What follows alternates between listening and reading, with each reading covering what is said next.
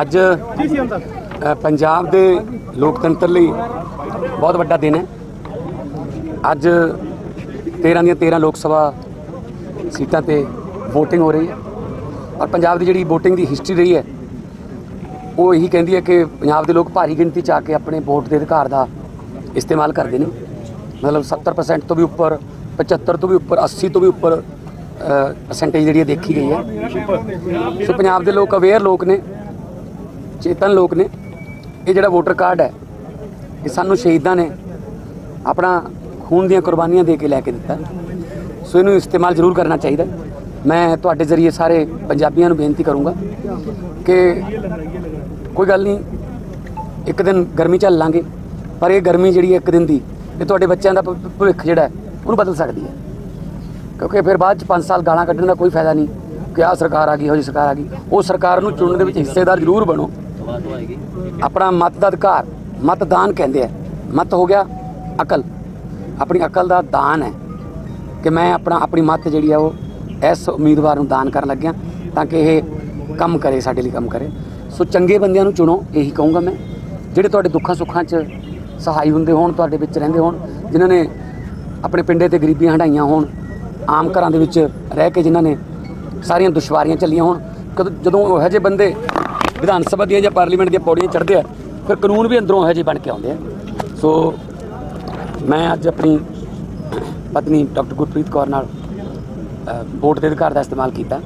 ਪਹਿਲਾਂ ਮੇਰੀ ਵੋਟ ਮਾਲੀ ਹੁੰਦੀ ਸੀ, ਰੱਸੀ ਸੰਗਰੂਰ ਬਣਾਈ ਹੈ। ਸੋ ਪਹਿਲੀ ਵਾਰ ਮੈਂ ਇੱਥੇ ਵੋਟ ਪਾਉਣ ਆਇਆ। ਤੇ ਬਾਕੀ ਮੈਨੂੰ ਉਮੀਦ ਹੈ ਕਿ ਭਾਵੇਂ ਸ਼ਹਿਰੀ ਇਲਾਕੇ ਨੇ, ਭਾਵੇਂ ਪਿੰਡੂ ਨੇ, ਭਾਵੇਂ ਕਸਬੇ ਵਾਲੇ ਨੇ, ਪੰਜਾਬ ਦੇ ਵਿੱਚ ਬਹੁਤ ਭਾਰੀ VOTING ਹੋਊਗੀ ਤੇ ਉਸ ਭਾਰੀ VOTING ਦਾ ਪੂਰੇ ਦੇਸ਼ ਨੂੰ ਇੱਕ ਮੈਸੇਜ ਵੀ ਜਾਊਗਾ ਕਿ ਪੰਜਾਬੀ ਇੱਕ ਇਹੋ ਜੀ ਜਿਹੜੀ ਕੌਮ ਹੈ, ਪੰਜਾਬ ਦੇ ਇੱਕ ਇਹੋ ਜਿਹੇ ਲੋਕ ਨੇ, ਜਿਹੜੇ ਆਪਣੇ ਅਧਿਕਾਰਾਂ ਦਾ ਇਸਤੇਮਾਲ ਕਰਨਾ ਜਾਣਦੇ ਨੇ।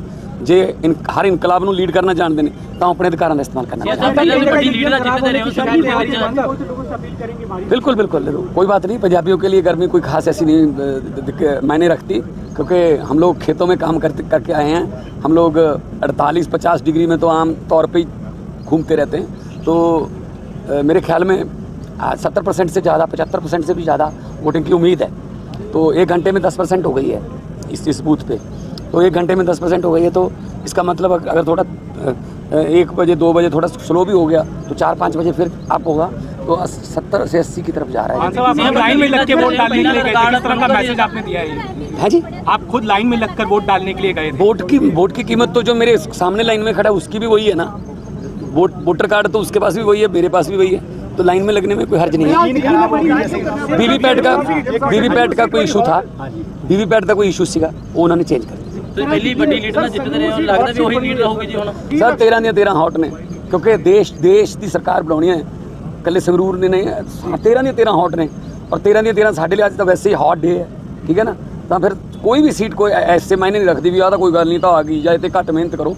ਮੈਂ 122 ਰੈਲੀਆਂ ਕੀਤੀਆਂ ਪਿਛਲੇ 25 ਦਿਨ ਚ। ਮੈਂ ਕੋਈ ਇਹ ਹਲਕਾ ਨਹੀਂ ਇਦਾਂ ਲਿਆ ਕਿ ਨਹੀਂ ਨਹੀਂ ਇੱਥੇ ਤਾਂ ਚਲੋ ਜਿੱਥੇ ਹੀ ਪਏ ਆ ਜਾਂ ਫਲਾਣਾ ਨੋ ਜਿੰਨਾ ਚਿਰ ਰੀਬਨ ਚ ਨਹੀਂ ਵੱਜਦੇ ਉਹਨਾਂ ਚਿਰ ਪਿੱਛੇ ਮੁੜ ਕੇ ਨਹੀਂ ਕਹਿੰਦੇ ਦੇਖਣਾ ਚਾਹੀਦਾ।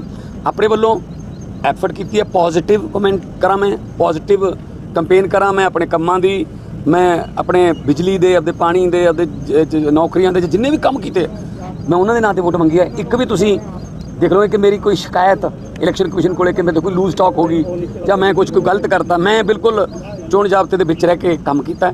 ਜੇ ਕਿਤੇ ਸ- ਇੱਕ ਦਿਨ 9:50 ਮਿੰਟ ਹੋ ਗਏ ਸੀ ਸੀ 9:52 ਤੇ ਕ- ਬੰਦ ਕਰਤਾ ਸਪੀਕਰ ਕਿਉਂਕਿ 10 ਵਜੇ ਤੋਂ ਪਹਿਲਾਂ ਪਹਿਲਾਂ ਖਤਮ ਕਰਨਾ ਹੁੰਦਾ। ਸੋ ਕਦੇ ਵੀ ਅਸੀਂ ਕੋਈ ਇਸ ਤਰ੍ਹਾਂ ਦਾ ਜਿਹੜਾ ਚੋਣ ਜਾਬਤਾ ਤੋੜਨ ਦੀ ਕੋਸ਼ਿਸ਼ ਨਹੀਂ ਕੀਤੀ। ਅੱਜ ਵੀ ਮੈਂ ਇਹੀ ਬੇਨਤੀ ਕਰੂੰਗਾ, ਜਿੰਨੇ ਵੀ ਇੱਥੇ ਆਉਣਗੇ, ਤੁਸੀਂ, ਤੁਹਾਨੂੰ ਵੀ ਬੇਨਤੀ ਕਰੂੰਗਾ, ਕੋਈ ਇਹੋ ਜਿਹਾ ਸਵਾਲ ਨਾ ਪੁੱਛ ਲਿਓ, ਕਿਹਨੂੰ ਵੋਟ ਪਾ ਕੇ ਆਏ ਹੋ ਜੀ? ਫਿਰ ਉਹ ਤਾਂ ਫਿਰ ਅੱਜ ਸ਼ਾਮ ਤੋਂ ਬਾਅਦ ਤੁਸੀਂ ਐਗਜ਼ਿਟ ਪੋਲ ਕਰੋਗੇ, ਪਰਸੋਂ ਚੌਥੇ ਤੋਂ ਬਾਅਦ ਪਤਾ ਲੱਗ ਜਾਊਗਾ ਕਿ, ਕਿ- ਕਿ ਕਿਹਨੇ, ਕਿਹਨੂੰ ਪਾਈ ਹੈ। ਸੋ ਬਸ ਮੈਂ ਇਹੀ ਬੇਨਤੀ ਕਰੂੰਗਾ ਕਿ VOTING ਜ਼ਰੂਰ ਕਰੋ ਔਰ ਪਰਸੈਂਟੇਜ ਜਿਹੜੀ ਪੰਜਾਬ ਦੀ ਉਹ ਦੇਸ਼ ਦੇ ਸਭ ਤੋਂ ਉੱਪਰ ਹੋਣੀ ਚਾਹੀਦੀ